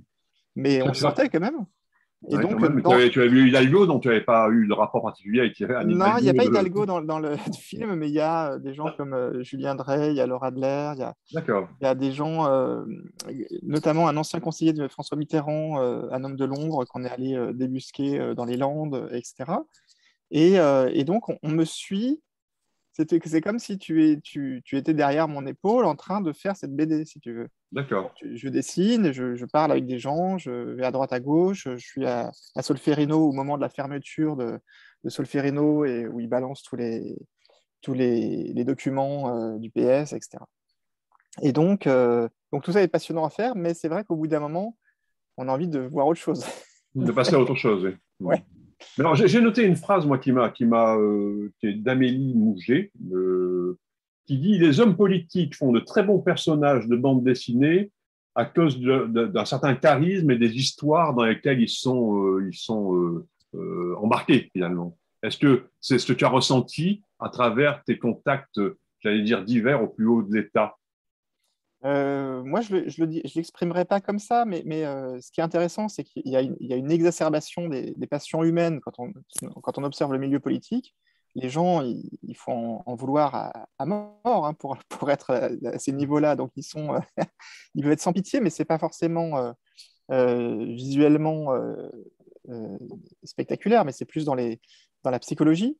Euh, mais euh, moi, ce qui, ce qui, me plaît beaucoup quand je suis euh, ce milieu-là, c'est vraiment, j'ai l'impression d'être un Tintin. par exemple, j'ai publié l'année dernière un album qui s'appelle Comédie française, où je mhm. raconte un certain nombre de, un peu les, la mise en scène du pouvoir sous, sous Emmanuel Macron. Et, et, pour ce livre, j'ai fait pas mal de déplacements, ce qu'on appelle des déplacements présidentiels. Donc, je demande des autorisations et comme n'importe quel journaliste, je suis euh, voilà, embarqué dans la, dans, la, voilà, dans, la, dans la traîne euh, de, de, la délégation. Mais ça nous amène à des endroits improbables. Et un, un endroit qui m'a moi vraiment marqué, c'est par exemple la visite d'Emmanuel Macron dans l'océan Indien. Et notamment, il est allé euh, quelques, il a passé quelques heures sur une île qui s'appelle l'île Grande Glorieuse, qui est entre Mayotte et, et si je ne dis pas de bêtises, le Kenya, enfin, c'est dans, ce croissant, euh, ce croissant du Mozambique. le canal du Mozambique. Et, euh, donc, c'est une île, on est vraiment dans Tintin pour le coup. C'est-à-dire qu'il y a une piste de sable, euh, en tout et pour tout, comme dans Vol 747 ça, pour Sydney. Et, on se retrouve dans cet endroit où jamais de ma vie je n'aurai l'occasion de mettre les pieds, parce qu'il y a juste une poignée de légionnaires qui tiennent ce caillou français pour, pour défendre ce territoire, mais c'est pas du tout ouvert au public on voyage dans un avion euh, militaire, euh, euh, voilà, dans les soutes. Et, et, puis, y a des, on voit des, des tortues. Enfin, c'est une île, il y, y, a, une faune et une flore encore préservée extraordinaire. donc, tout, tout, tout, ça pour dire que c'est l'occasion de vivre des, choses qui sont pour moi de l'ordre de l'aventure que je ne pourrais pas vivre dans, dans, ma vie de tous les jours. Oui, mais alors justement, toi, par rapport à Jacques ou par rapport à Guy, qui sont un peu des, j'allais dire, des, des acteurs euh, avec recul, toi, tu es en première ligne. Et est-ce que justement ces politiques, non, mais est-ce que ces politiques sont interventionnistes? Disant, oui, mais attendez, ah. qu'est-ce qu'il va mettre dans, dans la BD Comment il va me montrer? Qu'est-ce qu'il va me faire dire? Non, c'est eu non, je, non, je suis toujours étonné par la, la perméabilité de, de ces milieux-là. Je pense qu'ils sont très contents. Euh, alors d'abord, le, dessin euh, fascine, passionne. et puis, tu sais, il y, y, a ce truc que Christophe Blain avait révélé avec Quai d'Orsay, euh, mhm. tu peux dire, les, tu peux faire, enfin, charger la mule à mort sur un personnage, du moment qu'ils préfèrent, les ces personnages-là, en, tout cas les politiques, préfèrent qu'on parle d'eux en bien ou en mal, mais qu'on parle d'eux plutôt que qu'on n'en parle pas. Donc ils, ils, sont très, ils ont vraiment le cuir, le cuir épais. Donc pour les, pour les déranger, il faut vraiment, en tout cas, je parle dans, dans notre démocratie, hein, il, y a, des pays où euh, je, m'y risquerais moins, mais il euh, mais faut vraiment y aller pour, pour rencontrer une une, véritable hostilité, si tu veux. ils, sont. Enfin, moi, je suis allé assez loin dans la. Je, me moque volontiers. Hein. Je ne suis pas du tout dans la flatterie, mais, mais bon, apparemment, ça ça le dérange pas. Bon. il, y a aussi, il y a aussi toujours ce truc de ça leur permet aussi de montrer que oui, on n'est pas, on pas fermé, on, ouvre. Oui, on, est, on est, oui, on est dans, dans, le coup. Vous avez vu, regardez, euh, tout, va bien. Quoi. Jacques, euh, tout à on, on, a parlé d'Algérie, euh, bon, encore une fois, l'actualité, mais tu es aussi un adaptateur de, de, Camus. Tu as, tu as, bon, tu as, tu as aussi travaillé avec Benakista, par fait, du, fait du polar. Donc, finalement, l'Algérie, c'est, comment dire, ton, ton socle. Et à partir de cette Algérie, est-ce que tu as justement, parce que adapter Camus, c'est aussi finalement faire ah être aussi témoin de son temps. Oui, puis Camus, l'Algérie, évidemment, ça. Voilà, en plus, oui, non mais c'est. est-ce que, tu vas continuer? Parce que là, je sais que le, de toute façon, euh, le, il y aura une suite, à, suite algérienne, hein, euh, évidemment. Qui est en cours, oui. En cours. Est-ce que tu as justement euh, d'autres envies? Parce que l'Algérie, bon, un petit peu dans le même style ou pas? Ou est-ce que vraiment c'est l'Algérie qui est ton, j'allais dire, euh, ton, ton, axe principal et oui, ça, oui, oui, ça l'est devenu en tout cas, parce que c'était, euh, ça m'a occupé quand même pas mal de temps. C'est un sujet euh, qui est assez inépuisable. Donc là, je le vois en traitant la période actuelle.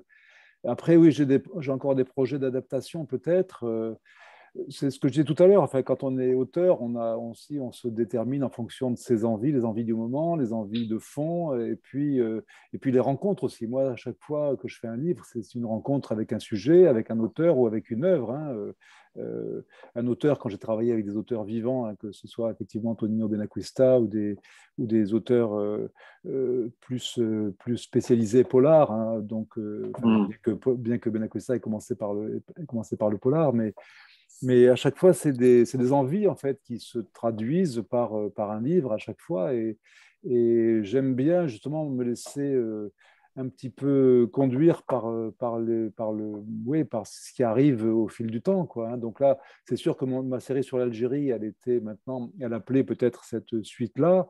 une fois que j'aurai bouclé ce deuxième tome, je ne pense pas que j'y reviendrai, sauf s'il se passe des choses extraordinaires entre-temps mmh. en Algérie. Mais mais encore une fois, bon, j'ai des projets. Vous savez, il y, a beaucoup, il y a beaucoup de projets qui se font pas, il y a des projets qui se font. Parfois, ce n'est pas ceux qu'on avait mis sur le dessus de la pile qui mmh. passent en, premier. Enfin bon, tout ça, c'est un peu des contingences. C'est encore une fois, c'est la, la, grande liberté qu'on a nous en tant qu'auteurs, c'est que euh, dans la mesure où on est suivi par un éditeur qui vous fait confiance et peut-être par un lectorat aussi qui vous, qui vous témoigne sa fidélité. Enfin, on est euh, vraiment très, très, très libre de, sur le choix des sujets, sur la manière de les traiter et sur, euh, et sur le, fait de continuer à faire des, livres. Quoi. Alors, une, question, Jacques, que je vais poser aussi ensuite à Guy et à, Mathieu. Est-ce que tu as rencontré des auteurs de bande dessinée? Parce que Pen Club, c'est la défense justement de la liberté de l'auteur, la, la, défense de, de leur liberté, oui, totale. Est-ce que justement en Algérie, il y a des auteurs de bande dessinée qui risquent, par rapport au pouvoir, d'être euh, largement inquiétés?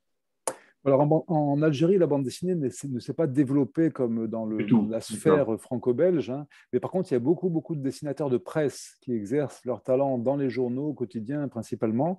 Et eux, euh, je pense notamment à Dilem, que je connais un petit peu, ils ont, euh, je sais pas, Dilem, il a une vingtaine de procès actuellement parce que justement, les, les hommes politiques qui chez nous sont peut-être flattés de se faire un peu écorner, euh, mmh. en Algérie, certains n'apprécient pas du tout et se retrouvent, certains, auteurs se retrouvent avec des procès et, et doivent répondre de leur euh, travail devant des tribunaux. Quoi. Donc on n'en est pas là, fort heureusement. Oui, Mathieu, tu disais, pardon? Non, non mais c'est vrai, Jacques a raison, c'est vrai qu'on est dans une espèce d'exception. Hein. On, a, on a un rapport, enfin bon, ça a été tellement dit au moment des, des attentats de Charlie, mais on a un rapport à la, au dessin et à, la liberté d'expression qui est quand même euh, euh, pas si courant. et, je parlais, je parlais, je parle de l'Algérie encore, bon, c'est les tribunaux, mais il y a des pays comme la Syrie, par exemple, j'ai fait. La Turquie aussi. Voilà, alors j'ai des copains qui sont dessinateurs en Turquie, là aussi, plus, en, mm. plus, en, presse, mais, mais en Syrie, là, j'ai vu passer quelques albums euh, au, début de la, de la guerre civile en, Syrie, après 2011,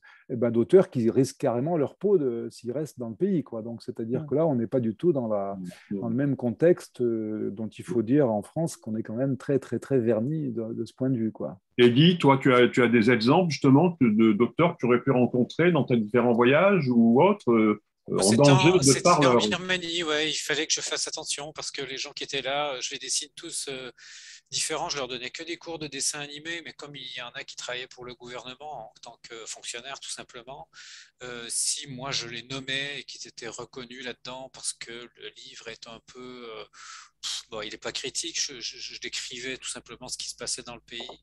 Euh, eux, ils risquaient beaucoup, ils risquaient de perdre leur boulot et puis leur appartement parce que tout ça est, complètement phagocyté. Donc, ça fait une cascade d'événements. Ils se retrouvent finalement en prison sans parler de la Corée du Nord, où euh, là, il y avait ce moment où moi, je suis parti de la Corée du Nord en leur disant euh, ben, au revoir les gars, et tu sais très bien euh, qu'il n'y aura pas de au revoir. En fait, je ne reverrai pas ces gars-là, c'est impossible. Et je leur disais, je sais pas, il y a moyen de garder contact.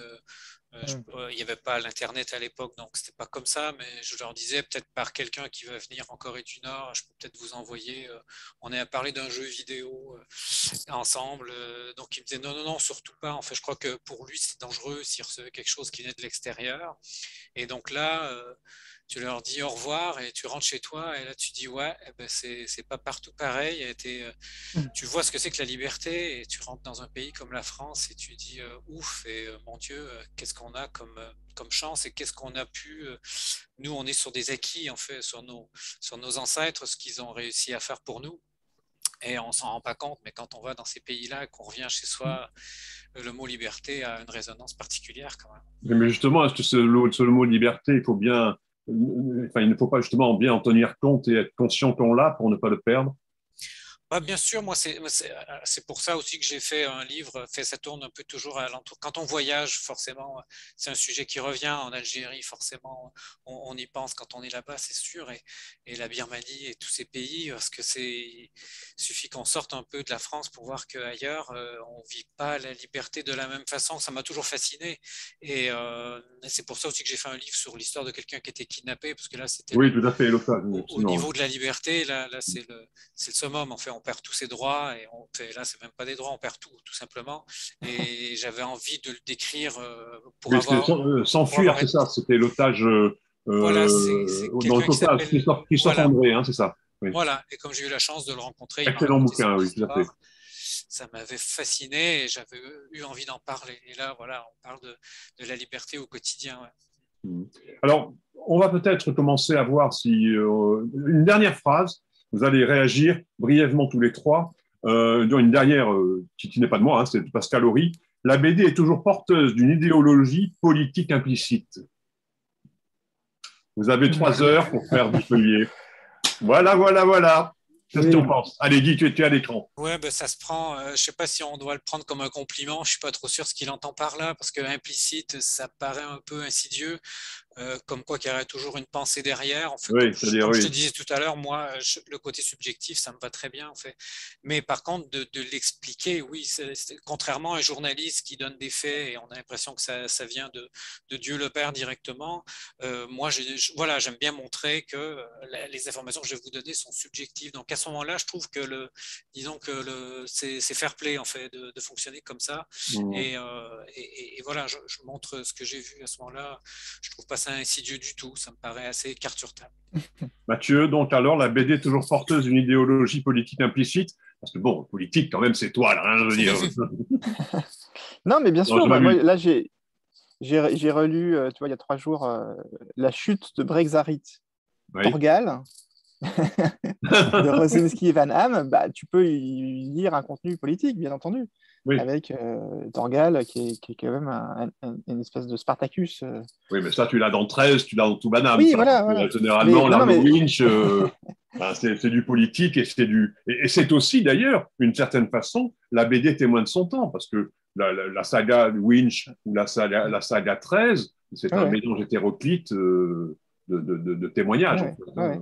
voilà. Donc, euh, oui, c'est une phrase qui, qui, qui, à mon avis, est, est, est tout à fait valable. Euh, et, euh, et, puis, dans mon cas, euh, oui. Alors après, moi, je, je, je, je suis ah. explicite ah, que ça... Guy. Je dirais que je. Eh ben J'avance un peu l'air de rien. Tu es là, tu es, tu es là. Oui, vas-y. Oui, je disais, je suis moins explicite parce que j'avance l'air de rien, je raconte des choses, mais en même temps, j'essaye quand même, sans, y toucher, de, de, de, pointer des choses. Euh, mais, mais je le fais de façon assez euh, en passant, comme ça. je n'ose dire des involtes, mais mine de rien, quoi, c'est ça? Oui, voilà. Mais, mais, mais c'est vrai que c'est compliqué parce qu'en plus, on a rarement du recul sur ce qu'on est en train de faire sur le moment et c'est après coup qu'on se dit, tiens moi, ce qui me fait plaisir euh, quand je regarde les différents albums que j'ai fait depuis 10 ans, c'est que ça raconte, ça raconte une époque.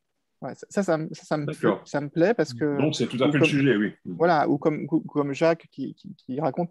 Là, j'ai le sentiment, surtout avec le recul, tu vois, de, de raconter euh, un moment, de raconter une, photographie de, de l'époque.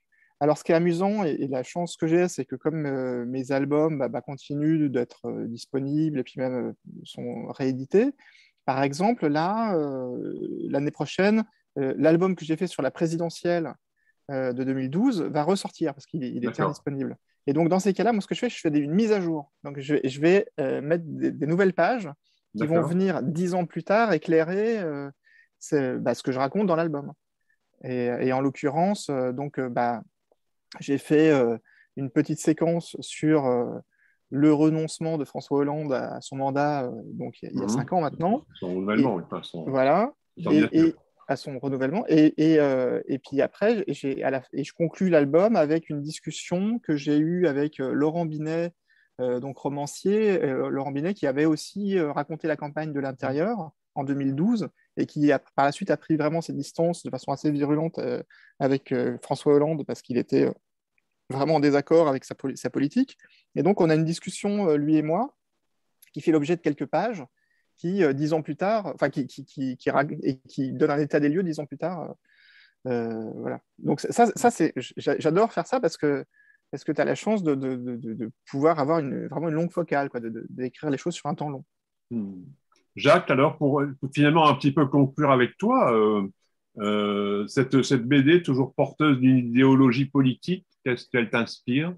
Oui, ben, je pense que Pascal Horry a raison, hein, qu'on le veuille ou non. Il suffit de voir euh, dans l'histoire de la bande dessinée, on a commencé en parlant d'Hergé. Euh, c'était tellement lié à son époque, alors peut-être aux commandes aussi dont on a parlé, euh, dû à la rédaction en chef de, son journal.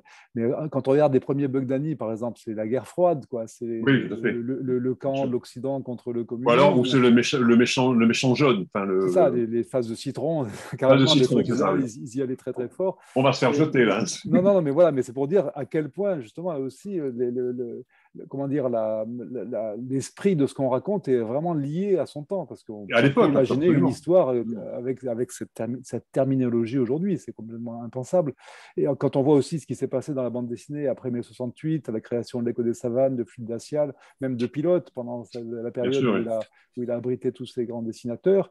Après 68, oui, il a commencé à... Voilà, mais était réellement, effectivement, témoin de son époque, en tout cas, et, et la manière dont... Euh, et puis moi, ça me rappelle une phrase qui se prononçait beaucoup après 68, quand j'étais très jeune, c'est tout est politique. Donc pourquoi la bande dessinée échapperait, échapperait, à cette règle?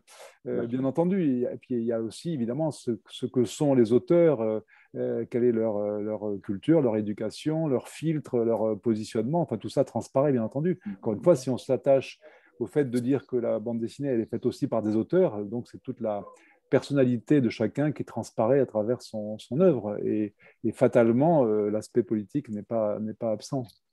Bien, bien écoutez, euh, Eliane, je pense que je vais vous repasser par contre peut-être le micro. Avant tout, euh, remercier nos, le public qui a eu la gentillesse de, de, de, nous écouter, d'écouter surtout Jacques, Guy et, Mathieu. Donc, je vous remercie tous les trois parce que vous m'avez fait vraiment un grand plaisir, un grand honneur d'accepter d'être là d'être euh, pour cette première réunion du Pen Club euh, sur ce thème qui est un thème quand même majeur justement de, de la BD témoin de son temps. Donc, euh, jeunes gens, merci à tous les trois. Hein. Et donc, je laisse maintenant à Eliane peut-être le fait de gérer les questions si questions il y a. Oui, merci vraiment beaucoup pour ce débat vraiment intéressant. Alors, il y a Fulvio qui pose une question, qui vous pose une question. Quelle différence faites-vous entre roman graphique et bande dessinée?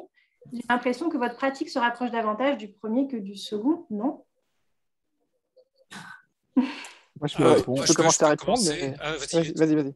Bah, en fait, moi, je ne fais pas vraiment de distinction parce que roman graphique, c'est une traduction euh, qui a été imposée du terme graphic novel qu'on a eu aux États-Unis très très tôt, qui eux voulaient se différencier du comics américain, qui est très voilà, qui est, très super-héros. Donc, euh, il voulait vraiment faire une distinction. Euh, L'Europe a, une, histoire de la bande dessinée qui évolue graduellement de la BD qui était vraiment en jeunesse à adolescent, à jeune adulte, à, adulte maintenant. Donc, euh, le terme roman graphique, pour moi, c'est de la bande dessinée, tout simplement. Donc, je n'y fais pas vraiment de distinction. Oui, moi, j'allais répondre la même chose. Moi, je pense qu'il y a une forme aujourd'hui une, espèce de volonté d'anoblir le genre en parlant de roman graphique. Moi, ça me va tout à fait de dire que je fais de la bande dessinée. Moi, quand j'ai commencé, c'était la bande dessinée dans les années, euh, à la fin des années 70, début des années 80. Et je pense que je continue toujours à faire de la bande dessinée, même si les paginations ont évolué, même si les, les formes mm. euh, éditoriales ont, évolué. Mais euh, mais moi, le terme bande dessinée me va tout à fait. Je n'ai pas besoin de me reconnaître à travers euh, une espèce de, de, mode d'expression qui serait hiérarchiquement plus noble. Voyez Donc, euh, non, non, bah, je continue à dire que je fais de la bande dessinée. Oui, moi je suis comme Jacques, hein, je ne enfin, je fais pas tellement de distinction. J'ai l'impression que dans l'esprit de, des gens, c'est bande dessinée, c'est quand ça fait 46 euh, pages. et, et puis roman graphique, c'est quand il y a beaucoup de pages et puis que le format est un peu plus un peu, plus, un peu plus ramassé. Mais, euh, mais de toute façon, c'est de la bande dessinée, ça c'est certain. Enfin, je veux dire, la bande dessinée, c'est la discipline qui, qui, nous réunit tous. Après, la forme que ça prend, elle peut, elle peut varier. Euh, mais quand on me demande, moi, je, dis que je fais de la BD, je ne dis pas je fais un, nouveau roman graphique. C'est vrai qu'il y a un côté un peu pompeux, mais, euh, mais c'est vrai que euh, c'est toujours bien vu dans les articles, dans les... il y, a quelque chose de, de plus noble de, à, dire. Euh, ça fait un peu élitiste. Voilà. Euh, mais reste ton populaire que diable. Bah, oui. Camarade. enfin, ça ne me semble pas un débat. c'est anecdotique. Oui pour, les, pour les auteurs, je crois que c'est assez évident. Mais après, pour les libraires, ça doit les, ça doit les aider pour mettre dans des cases euh, des albums qui sont avec un format différent, qui parlent à, quelque chose de plus âgé que des adolescents. pour eux, c'est peut-être pratique. C'est pour ça d'ailleurs que je crois que ça s'impose même en France maintenant comme terme. Mais il est vrai que quand on me parle de mes adaptations de Camus, euh, L'étranger, le premier homme, je me laisse fléchir quand on me parle de roman graphique. Là, je dis, bon, peut-être c'est adapté euh, au, à, ce, sujet-là, mais, encore une fois, pour moi, il n'y a pas de différence. Mais ce qui est marrant, Jacques, c'est que si tu fais tu prends les, albums indépendants, c'est des bandes dessinées, et quand on les réunit en, compilation, ça devient un roman graphique. Oui, après ça, c'est aussi des trucs d'éditeurs, parce que moi, je sais que par exemple, mes, carnets d'Orient qui ont été publiés euh, en, format album cartonné, alors ça fait plus que 48 pages, à l'époque, c'était entre 60 et 80 pages, mais ça a été réuni en intégrale dans un format un peu plus petit, parce que aussi, la logique d'éditeur dit aujourd'hui, les lecteurs les habitudes de lecture ont changé, les gens sont mm. habitués au roman graphique. Donc là, on a, vous voyez, on a des, des euh, il est là, il est où, il est là, vous voyez le. Ah, il y a du format. Le, format maintenant, euh, euh, ça, réunit cinq albums, donc on est sur quelque chose qui s'apparente effectivement éditorialement au roman graphique, il y a des, il y a des brillances, voilà, je crois que mm. mais parce que l'objet fait plus, euh, fait plus euh, référence maintenant à des modes de lecture plus, plus actuels. Mais encore une fois, euh, je pense que peut-être on reviendra dans quelques mais les pages, sont, les, pages sont les mêmes à l'intérieur. Voilà. Oui, peut-être qu'on reviendra au grand format en disant c'était quand même formidable, on veut pas pour rendre compte du travail de l'auteur, euh, parce que les originaux moi, sont beaucoup plus grands, donc on va peut-être revenir à des, à des formats. Euh, Mais ils sont, ils l'ont de tendance. Hein. Ils viennent de sortir euh, le, le, dernier Tintin à la, au Tintin au pays de l'or noir dans un format beaucoup plus grand. Ah oui. des, Quel format des, des beaucoup plus grand que les Tintins normaux, quoi. Mm. Oui. Super. Oui, bon, après ça, c'est des tendances éditoriales du moment, et puis tout ça, ça change. Même économique, même, oui. Mm. Eliane oui, alors euh, il n'y a pas d'autres questions dans le chat, mais moi j'ai envie juste de réagir par rapport au roman graphique. Moi je pense que ça a pu aider des enseignants euh, à convaincre euh, certains proviseurs ou d'autres des collègues d'utiliser en fait les bandes dessinées comme, comme support mm. pédagogique et ça a pu aussi peut-être, voilà, c'est un moyen aussi de, de toucher peut-être un public plus large qui, qui partait du principe qu'ils n'aimaient pas la bande dessinée mm. parce qu'enfant, voilà, il n'avait pas été forcément séduit et qui ont pu euh, redécouvrir ou en tout cas se laisser tenter euh, par ce terme qui les a amenés à, apprécier en fait finalement la bande dessinée. Bon, ben, admettons que c'est une nouvelle porte d'entrée dans la bande dessinée, et dans ce cas-là, on peut s'en féliciter alors. Alors, est-ce que d'autres personnes veulent, euh, veulent intervenir et poser une question? Ah oui. Euh, alors, Charles Gonzalez, pas de question, mais il exprime toute son admiration pour vous trois, créateurs de bande dessinée, qui est un, la bande dessinée qui est un art à part entière. Ben, merci. Merci beaucoup. C'est même, je dirais, un art, un art majeur euh, qui a toute sa place aujourd'hui dans la littérature en général, je crois. Euh, ça, ça, ça, ça n'engage que moi, mais, je crois que c'est une réalité parce que euh, c'est un, voilà, un moyen d'expression artistique de très haut niveau et qui fait partie de la littérature. Je crois que c'est là aussi tout l'intérêt que, que, le Pen Club ait pu ait su distinguer justement cette cet accès à la littérature de la bande dessinée à travers justement le, témoignage euh, qu'elle peut apporter, euh, la distraction, le plaisir, simplement le, un bon, comme un bon, bon roman, comme euh, voilà, on n'est pas toujours non plus dans le pur et dur combattant, mais mais la bande dessinée, c'est beau, quoi. C'est sympa. Mais, c'est marrant qu'on est là, Mathieu, parce que comme il a réalisé des longs métrages de cinéma, de voir aussi quelle est la liberté, peut-être, enfin, il pourra nous l'expliquer, la liberté qu'on a quand on est juste derrière sa feuille de papier et son crayon et qu'on publie un album, par rapport, j'imagine, aux contraintes de production, de financement, de diffusion, euh, de, de gérer, du, euh, gérer des équipes, en fait, quand on est... Quand on est et des moyens. Et, des, moyens. Quand, quand, on est euh, sur, sur le, enfin, voilà, dans, dans, le monde du, du cinéma, ça serait intéressant aussi de voir qu'avec finalement très peu de, moyens. avec une économie de moyens, on peut vraiment réaliser des choses euh, qui se mettent, qui se mettent peut-être effectivement au niveau de moyens d'expression beaucoup plus ambitieux et beaucoup plus coûteux à, produire. Donc c'est quand même aussi le très très gros avantage de notre, de notre profession. Ça aide que justement comment tu fais? Parce que c'est ça, c'est, il a raison, Jacques a raison. Gérer un film et gérer une BD, euh, c'est pas la même chose quand même. Certes, euh, mais, mais, mais non, non, ce qui, est, ce qui est étonnant aussi, c'est de voir à quel point euh, euh, aujourd'hui, bah, on, sait, le, sait, le, cinéma ne se, porte pas très très bien en salle, c'est difficile, et on, se rend compte qu'il y a des... Voilà, c'est très cher de faire un film, et, et, certains films qui vont coûter plusieurs millions et qui vont faire moins d'entrées que les ventes d'un album de BD. Euh, sans compter qu'un album de BD est, paraît-il, lu par, euh, je crois, trois lecteurs en moyenne. Hein, donc, euh, mm. oui, un album. Un, accès beaucoup plus large. et aussi, une tendance qui est, très nette, c'est que beaucoup de producteurs de cinéma regardent louche du côté de la bande dessinée pour adapter la BD. Mais, mais, pas, mais si je peux élargir, d'ailleurs, il n'y a pas que ça, il y a aussi tous les éditeurs euh, vous diront qu'ils euh, reçoivent chaque jour, chaque semaine, des euh, propositions de, de gens qui viennent de toutes sortes de disciplines, soit scientifiques, soit journalistiques, soit politiques, ou, des personnalités connues, ou des, écrivains, proposant leurs services pour faire une bande dessinée et donc à la recherche de dessinateurs qui, avec lesquels ils pourraient faire un album. Et mm. donc, euh, on voit bien qu'aujourd'hui, la bande dessinée euh, attire énormément parce qu'on a l'illusion de penser qu'il y a presque un aspect peut-être facile. Euh. On, se dit, oh, bah, tiens, faire un album. Enfin, je sais qu'il y a des écrivains comme ça qui, qui, ont tenté le coup, comme ça, en se disant, tiens, faire un album, ça, c'est plus facile. Et, euh, voilà. Et, bon, la réalité, cinéaste, hein, euh, oui. Bah, oui, des projets cinéma qui ne peuvent pas se faire. Et qui aussi. non, mais il y a comment il s'appelle euh, Patrice, C'est Patrice Lecomte qui a dernièrement sorti deux, albums sur une sorte de remake de la traversée de Paris. bon, voilà. Alors lui, il avait commencé par la BD. Donc ça, c'est vrai. Oui, c'est vrai. Il a commencé par la BD. La boucle est bouclée. mais non, mais donc pour dire que, on a l'impression que c'est un peu l'Eldorado, la, la, bande dessinée, et qu'aujourd'hui il y a, toutes. Enfin, moi, je croise tout le temps des gens euh, qui me disent ah bah tiens, j'ai pensé que ça pourrait faire une bonne BD. Euh.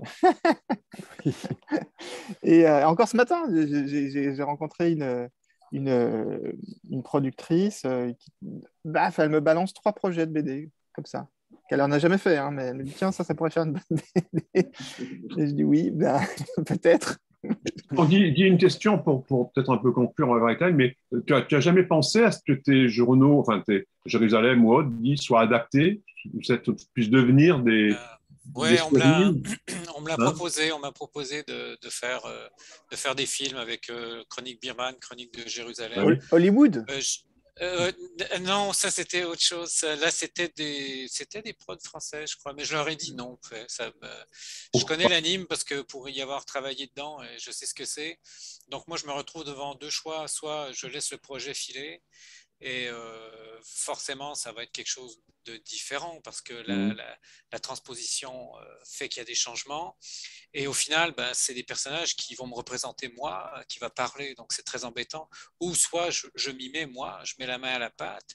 Et là, ben, c'est voilà, l'inertie d'une grosse production. Ça prend 3, 4, 5 ans, 6 ans. En fait, je regarde, je regardais Marjane qui a fait son film Persepolis. Elle a passé 6 mmh. ans là-dessus. Après, il y a la promo et tout ça. Moi, vraiment, ça me, ça me, dit, ça me dit trop rien. Et ça ne m'attire pas du tout, en fait. Donc, euh, j'ai préféré dire non, merci.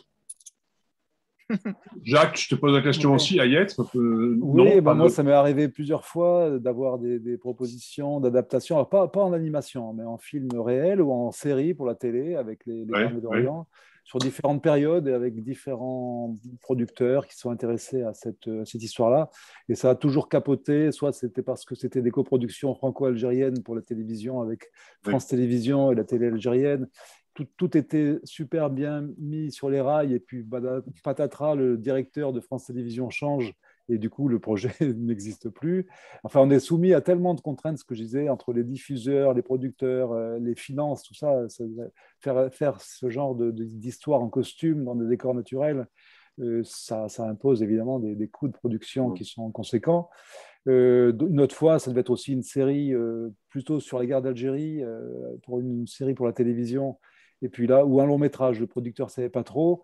Et puis je crois que tout s'est arrêté quand euh, un, très bon film d'ailleurs sur la guerre d'Algérie est sorti qui s'appelait L'ennemi intime. Oui, absolument. Il a eu beaucoup de succès. Non. Et je crois que ça a douché, ça a douché tous les, tous les, ah, oui, oui. tous les, toutes les envies des, des producteurs. Il n'y a jamais eu de grands grand films sur la fin de, de films. Il y, a eu, il y a eu des très bons films. De bons films, mais ils ont, eu assez peu de succès. Généralement, c'est pas des films qui ont eu. Même le récemment, la Des Hommes n'a pas tellement. Des Hommes, qui était, qui était vraiment un film intéressant avec Depardieu euh, et, euh, et comment il s'appelle Daroussin, qui était tiré du roman de Mauvigné très intéressant film, très, très. Euh, moi, quand j'ai vu ce film, j'ai il y avait une espèce de presque de souffrance à voir ce film. Donc c'est des films, enfin c'est des sujets qui sont pas faciles, et on voit que pour le public c'est pas super facile non plus. Et donc le résultat, euh, hmm. euh, ça, ça, ça n'a pas de, ça rentre pas, enfin ils rentrent pas dans leurs frais ça, simplement quoi. Hmm. Donc moi ça n'a jamais abouti, et finalement c'est très bien comme ça parce que là aussi on peut toujours être ensuite avoir l'impression d'être trahi.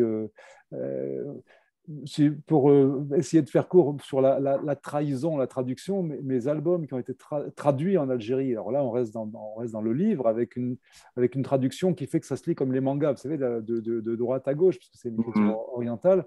là, je me suis retrouvé avec des livres donc, qui étaient tout à fait traduisibles et, à l'identique, euh, où je me suis fait, alors là, les choses ont mis un peu de temps avant de se faire euh, savoir, mais je me suis retrouvé caviardé sur le plan des images. Parce que dès qu'il y avait une scène de couple, dès qu'il y avait euh, comment dire, des, des, des, gens qui étaient un peu dans l'intimité, même si ce n'est pas ma spécialité dans mes bandes dessinées, ça disparaissait à l'image. C'est-à-dire il y avait soit une petite main qui avait photoshopé en mettant du textile là où il n'y en avait pas, ou carrément qui avait flouté les, certaines images. Donc ça donne aussi l'idée que quand on fait des choses en, pleine conscience, en essayant, en essayant, de maîtriser un peu tous les éléments du, récit et de l'image, on peut être aussi euh, dans l'adaptation, dans la traduction, même parfois être, être euh, détourné ou voire trahi. Donc c'est très bien finalement que les films à partir de mes bandes dessinées ne soient pas faits parce que j'aurais pu peut-être m'attendre au pire.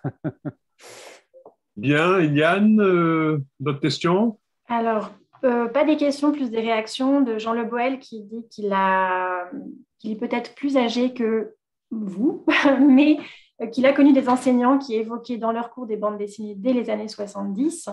Et Patricia Nolan qui nous dit qu'elle a appris la guerre de Troie euh, par la bande dessinée et qu'elle a gardé une passion pour la mythologie grecque grâce à cela et qu'elle a aussi appris l'histoire gauloise avec Astérix.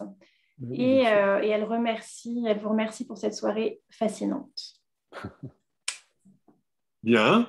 Alors euh, Sylvestre Lancier, je voudrais dire à quel point j'ai trouvé passionnant votre, la, façon dont vous avez mené le débat et puis nos amis ont, été très vifs et pénétrants et en même temps très modestes et, très, très humbles, et alors qu'ils sont de grands artistes et qui défendent de manière vive et vigoureuse la liberté d'expression. C'est ça qui nous touche beaucoup au Pen Club, c'est qu'on nous sommes les défenseurs de la liberté d'expression et ce sont de grands artistes qui le font très bien et ça, je voudrais le souligner. Donc, ça veut dire que nous sommes encouragés par vous, par eux, à, continuer dans cette voie et nous aimerions que euh, ces personnalités euh, nous rejoignent et que d'autres nous rejoignent. Euh, évidemment, ce, cette émission sera diffusée sur notre site, donc elle sera beaucoup plus vue, évidemment. Euh, et c'est très important pour nous. Notre, président, Antoine Spire, qui a suivi, a peut-être envie de dire quelque chose. En tous les cas, moi, je voulais vous remercier infiniment parce que c'était passionnant. Et tous ceux qui n'ont pas pu la voir en direct la reverront en différé. Et on aura beaucoup de commentaires à vous, à vous renvoyer à ce moment-là. Merci encore. Merci. Merci. Moi, je crois que vous avez renouvelé euh, la réflexion sur la bande dessinée. Je vous en remercie parce que en fait, vous, avez, nous avez permis de voir dans quelle mesure euh, toute l'actualité pouvait être, euh, au fond, prise en compte, l'actualité, l'histoire par la bande dessinée. Et je trouve que ça a été vraiment un, échange très, très intéressant. Euh, c'est la première fois qu'on le fait Open Club, à ma connaissance, et je pense que ce n'est pas la dernière. Et que grâce à vous, peut-être, mmh. grâce à Jean-Laurent, peut-être, on va pouvoir donner une suite à ce, à ce travail et permettre euh, à d'autres auteurs aussi de s'associer à, ce, à cette réflexion. Je crois que pour nous, ce serait très, très utile parce que, euh, vous l'avez dit à plusieurs reprises, il y a les, les, enjeux sont absolument décisifs. Hein. Les enjeux politiques, les enjeux de liberté euh, sont absolument essentiels. Et vous nous aidez à les poser et merci. Merci. Merci à vous. Merci à vous comme, nous sommes des, comme nous sommes des gens d'image, je ferai juste une petite remarque à Antoine Spire qui règle son écran de façon à ce qu'on le voit parce qu'on ne voyait que le sommet de son crâne. C'est vrai. C'est pas un souci de discrétion, peut-être, je ne sais pas. voilà, on voit mieux. Merci à Eliane de nous avoir accueillis. Euh. Oui, tout à fait. Merci beaucoup. Hein. Nous savons tous qu'elle adore la bande dessinée, qu'elle en connaît plus, beaucoup plus que la génération qui la précède. Mais on a Merci à Laurent pour la manière dont il a conduit les choses, parce qu'il les a très bien conduites. Merci. Mais c'était, c'était, j'étais quand même, honnêtement, bon, avec, des, des, auteurs que je connais un petit peu quand même depuis un certain temps et, euh, et qui sont aussi euh, amicalement proches. Donc, c'était pas très compliqué. nous avons, très, agréable, et très agréable comme d'habitude. Merci Jean-Laurent. Nous avons déjà évoqué entre nous quelques projets à venir. Vous pouvez en dire deux mots d'ailleurs parce que ça nous encourage beaucoup cette soirée. Oui, tout est, on, avait, on avait évoqué. Euh, alors finalement, euh, Jacques va être plus ou moins, euh, on ne sait pas concerné. L'adaptation.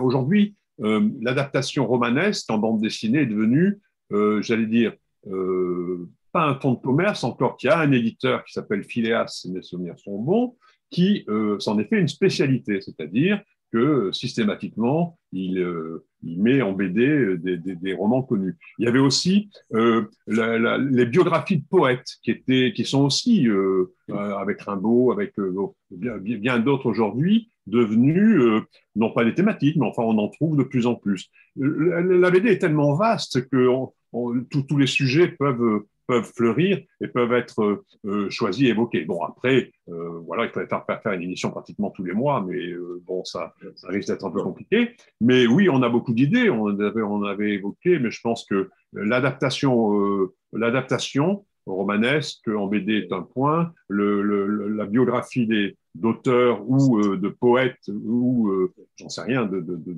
ça peut être Zola comme ça, ça existe aussi ou peut-être même des grandes affaires, des grandes affaires comme Dreyfus, parce qu'il y a eu récemment un très bon, très, très, très bel album là-dessus. Donc l'histoire en général, euh, et se ramenant toujours, par exemple, comme pour Dreyfus, à un sujet sur euh, témoin de son temps, la liberté, la défense de la liberté.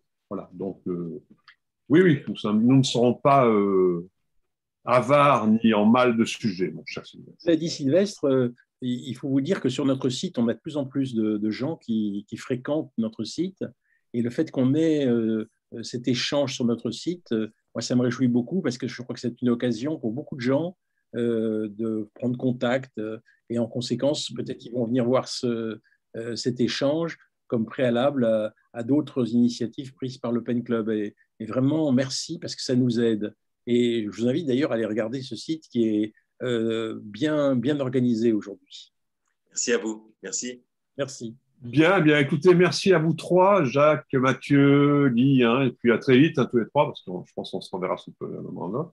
Et puis Sylvestre et à vous tous du Pen Club, merci de nous avoir accueillis pour cette excellente soirée. Voilà. Merci. À très bientôt. C'était un plaisir. Merci. Merci. Ciao, Jacques. Au revoir. Bye. Ciao. Au revoir. Au revoir. Merci.